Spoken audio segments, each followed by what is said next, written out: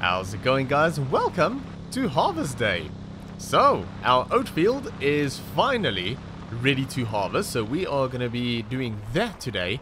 And that is very exciting, because this is our very first harvest on our own farm. I'm looking forward to see how that goes. Luckily, the oat prices are really high at the moment, which is good for us because, well, we don't have any grain storage. So we are effectively selling right off the field, so we can't really hold on to any crop until the uh, prices are good. But, like I say, the prices are actually pretty great at the moment, so that is a big bonus. Uh, the other fields are not quite there yet, but hopefully we'll be able to get into them very soon as well.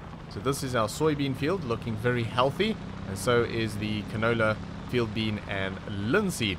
But yeah, we have to uh, get some machinery hooked up and moved around. So we're going to have to get that seeder out of there so that we can get to the header. Probably not a bad idea to put the seeder in the back of the shed here for now. Because um, our harvest is going to be a little bit staggered because some of our crop are in different growth stages. So yeah, I think it's going to be a lot of connecting, disconnecting, reconnecting um, of things like the headers because I don't want the combine to just sit outside. So yeah, I might actually just shuffle things around a little bit. Maybe put the seeder at the back so that we can get to the header a little bit easier. But we need to get the Ford onto the trailers. And also, I have bought a little pressure washer. So just a tiny little one, but it'll do the job for now. I haven't actually got around to cleaning anything yet, so everything's still dirty. I did get the front loader off of the Ford. So I put it over there because I sold the lifter and um, the bag lifter as well. So the, the pallet lifter and the bag lifter. I sold both of them. Got a pretty good price for them actually. And also, good news. We have a pallet fork. So I was recently talking about um, getting a pallet fork or maybe getting a pallet fork once we need it. But um, yeah, we have one. Obviously, there was one attached to um, our lifter. For some reason, I just thought that it was one unit. But um, yeah, it's obvious. This comes off of that. So I didn't sell this. I just sold the lifter. So we do have a pallet fork if we ever need one. So we don't have to uh, buy it. Yeah, so that is good news. Uh, means we, we don't have to spend money on a pallet fork. Not that they're particularly expensive. But um, yeah, it all adds up. There we go. Our lovely Ford, new to us Ford, uh, definitely not new. Uh, could definitely do with a wash. Should we maybe give it a quick wash? Let's do that. I, I thought I'd probably do it after we get this field harvested, but it's looking it's looking rough. Actually, let's let's keep that running. All right, that should just about do it. That is looking much much better. There we go. So yeah, it really is not in bad condition at all. I mean, a bit of paint flaking here and there, but you sort of expected of a, a tractor of this age. Yeah, that is so much better. Oh my goodness, I can see out the windows. That that helps when you're farming. It, it helps when you can see what you're actually doing. Okay, so let's get these trailers hooked up. Uh, we'll probably give the combine a wash as well uh, before we get into the field. Although, no. Probably not a good idea because we're going to get everything wet and then, yeah, it's not going to do its job properly because everything's going to be very sticky on the inside. So let's hold off of that. I know it doesn't look great, but um, it'll be fine. We'll, we'll give it a nice clean when we are done with that field. Right. That is... Did I, did I hook that up properly? Yeah, I did. And this one should be hooked. It is. Okay. Hooked up. Hooked. Yep. Hooked up. Fantastic. Let's um, take this over to the field. I don't really have too much space to put this, but I think we'll just leave it in the road. Yeah, that'll be fine. I was trying to think if we can turn around at the bottom of the field, but I don't think so. Uh, so we'll we'll leave it here, just enough space so that we can get behind it with the combine. Alright, that should be fine. Yeah, we can get in here with the combine. And um, we'll obviously create a bit of a, a, headland around the field first with the combine. So that'll give us a bit of room uh, to turn around when we need to. Now, I don't think we're going to fill our two trailers. I would love if we did, but I don't think it's going to happen. Uh, but hopefully we get a good yield. The um, the crop is looking very healthy and we've we've been taking good care of the field and you know, applying fertilizers where needed. And yeah, we hopefully, hopefully we can um, make some good money off of that. I'm a little bit nervous, I'll be honest. I am a little bit nervous that um, all of this work is not going to amount to much. But we'll have to wait and see. Like I say, the good thing is the prices are really high at the moment, so that uh, makes me feel a little bit better, but um, yeah, we'll have to see. I mean, it's farming. I, I, know it's a small field, but maybe my expectation is a bit higher than it should be for a small field like that, but we shall see. We'll see how things go. Anyway, I'm going to get this hooked up real quick, and um, we are going to head back to the field, and we are going to get our first harvesting job done on the farm. And of course, we'll get the drone out for that. So, for now, sit back, relax, and enjoy.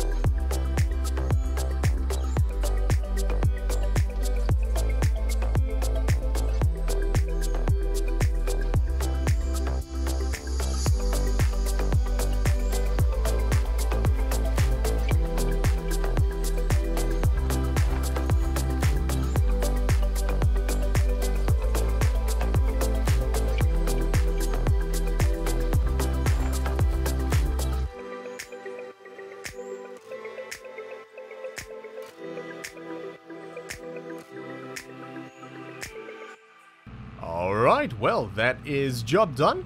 And that didn't take too long at all. Not a very big field. And unfortunately, we didn't really end up with much in terms of crop. Not even half a trailer. But we'll see what we end up getting. So I am on my way to Pine Creek Stores, which is just over on the right hand side here. And we are going to sell the oat. They are currently paying £2,005 per thousand liters. So we'll see. I think really anything over 3,000 pounds probably be a bonus, to be honest. Yeah, I think my expectations were a little bit too high. I think it's because I'm so used to having done so many contract jobs recently and we almost always drive off the fields with two full trailers, three full trailers, sometimes four. So, um, yeah, it's um, it's not quite the same situation on our little farm. So, yeah, expectations were maybe a little bit too high. But anyway, we have a crop and that is the main thing. And like I say, anything about 3,000 up would be nice. 3,895 pounds is what we got for that. So, yeah, actually not bad. For a tiny little field like that, it's not too bad at all. I think um, my my two trailers were a little bit overly optimistic. But yeah, I, I don't think we're going to need two trailers uh, to cart any of our crop off of our fields. Because our other fields are bigger, but they're also not uh, bulky crop. So I don't think we're going to need the two trailers. Although we're saying that we could use the trailers for storage if needs be. If the prices are really low, then we could put crop in the trailers which means we can store two different crops because we've got two trailers. Uh, we can top them and just leave it in there until the prices are better. It's not ideal, but it will work. So in that sense, probably worth buying that second trailer, and eventually we will need it. Our operation will continue to grow, um, so yeah, I, am fine with the having the second trailer, having um, spending the the money on that second trailer wasn't too much anyway. Um, but yeah, I, I probably would rather have it and not need it than need it and not have it, is what I'm trying to say. Um, the other thing though is we have quite a bit of straw on that field. Now again, it's a small field. It's not going to amount to a lot, but it's a decent amount for what it is. And I'm kind of thinking about maybe buying a baler, baling that up, and we can sell that as well. So we can still make a bit of extra money off of that field. It's not just the crop. So I'm going to do that. I'm going to keep an eye out and see if I can find an old baler, something cheap. I don't want to go spend a huge amount of money, but it'll also be nice to have a baler on the farm if we do eventually decide to get into uh, grass works, uh, hay or silage or anything like that, well then it'll be nice to have a baler on hand already. I don't think we're going to be able to bale a lot of our crop um, or get straw off of a lot of our crop, but yeah, maybe we should bale what we can and make a little bit of money off of that as well. Maybe not a terrible idea. Yeah, I have got the combine parked out here because I want to give that a wash before I get it put away. But I did also find a contract job that we can head off and go do, which will get a bit of extra money in the bank account as well, which will be nice. But yeah, I'm I'm relatively happy um, with almost 4,000 pounds off of a small field like that. We'll see how it goes for the rest of the fields. Like I mentioned earlier, they're not quite there yet, but hopefully uh, very soon. But yeah, I am gonna see if I can find a baler. I'll start looking, um, maybe on this job, maybe we'll have GPS and I'll have a bit of time to scan around on the old interwebs, see if I can find something. I'll maybe um, give the dealership a shout as well and see if they've got anything or know of anything. Uh, where did I go with the quad bike? Oh, it is on the seeder. But Yeah, I'll see if I can find something. And maybe not a bad idea, if it's not too expensive, that is. But yeah, we are going to head down. We're going to take a look at the job that we have got waiting for us. We'll see what we are working with in terms of uh, equipment and field size and all that good stuff. And we'll get that knocked out as well. Alright, we are just about coming up to the field in question. So it is a harvesting job on, I believe, a rye field which is interesting. Should be fun. Not sure what we are actually working with in terms of equipment, but I'm guessing this is the field here. Hmm, did I see a trailer in here? I did. Okay, I'm guessing that is the header trailer that they parked in there. Get it out of the way. So, I'll just leave the quad bike here then. Ooh. Is that sugar beet? Uh, looks like it. That's a nice looking field actually. Right, so in terms of equipment over here, we have got a Nova by the looks of it. Uh, maybe I should close that just to get it out of the way. And we have got a little Zetor, Major CL80. We've used these a few times now. Nice little tractors actually. Not bad at all. And just a nice dolly trailer. Everything seems to be hooked up, so that is good. Uh, this is the field. It looks like actually quite a big field for the size of the equipment. So we've got the Nova 330. Everything there seems to be good. Alright, let's um, drop that. Yeah, that is a fairly big sized field. Alright, this is going to be fun. So, I am going to let this run for a little bit, just get everything heated up. And I'll go around, make sure everything is looking good and as it should. And then we're going to get the drone out. We'll get this field knocked out. So for now, sit back, relax, and enjoy.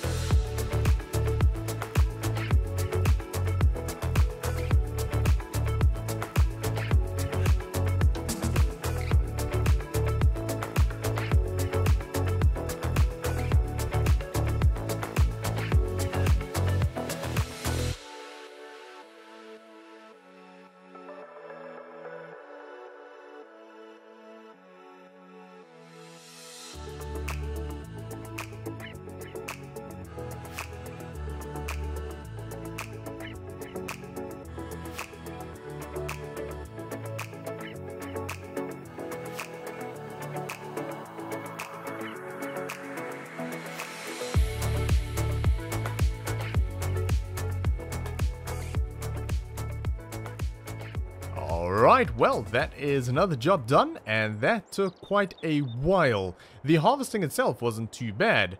It was driving up and down. I had to do four trips. I don't know why they only gave me one trailer. Maybe they only had the one available at the time, but yeah, it would have really been nice to have a second trailer over there. But anyway, at least we got paid well for the job. We got a nice little bonus as well. So we are currently sitting on 39,301 pounds. But we are back at the farm, and this is the oat field that we harvested. And as you can see, there is quite a lot of straw on the field, which I would like to bale. So I have been taking a look around the old interwebs, and there's a few balers that are available, so I'll probably go and take a look at some of them and see if we can find a decent one, something that won't be too expensive, but will also do a decent job. But I've also been thinking a little bit while I was harvesting there, I think what I might end up doing is after we harvest the soybean field here, I think I'm going to combine these two fields and just make this one big field. There's no real point in having small fields like this. Um, our operation grew a little bit quicker than what I expected it to. Uh, we bought a lot of other fields that I didn't think we were going to buy that soon, which is why I split this field to try and get a bit of a variety of crop in, uh, just as a safety net, because you don't want all of your eggs in one basket. And I'm kind of thinking that I might end up doing the same thing here. I might cut down that big tree there, cut out the rest of the hedges and everything there, and just um, plowing straight through and making that small field over there and this field one big field. I don't know. I'm, I'm not 100% on that one yet, but maybe I'll do that. But this one here, I think I'll definitely do that. The other thing is, we'll see how it goes with the rest of the crop, um, especially the soybean uh, usually that goes for a decent price, but we'll see how it goes for the rest of the crop.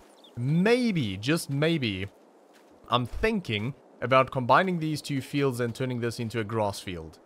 And maybe we'll get into silage. Now, we don't have the space to build a big silage pit or anything like that, so if we do go that route, we're going to have to do um, baling, so we'll have to uh, wrap the grass and then, um, yeah, let it ferment and uh, make silage that way rather than collecting it and putting it into a bunker and letting it ferment. So there'll be a bit more cost to incur if we do go that route because we'll have to get a mower as well as a bale wrapper and of course a baler. But we might have a baler soon uh, if we're going to bale these fields here. But I don't know yet. Maybe I'll just turn it into another arable sort of a crop, uh, cereal crop or something. I am not 100% sure, but I'm kind of thinking about maybe, yeah, dipping my toes into um, the, the silage side of things to see if we can make a bit more money if we go that route. I don't know. We'll have to see. But anyway, I have got a lot of work to do over here. Um, not very exciting work. I'm just gonna wash some equipment. I want to clean up the combine and the header. Uh, the Ford is nice and clean. I might give the trailers a wash as well. I'll get that disconnected. I'll get it all put away.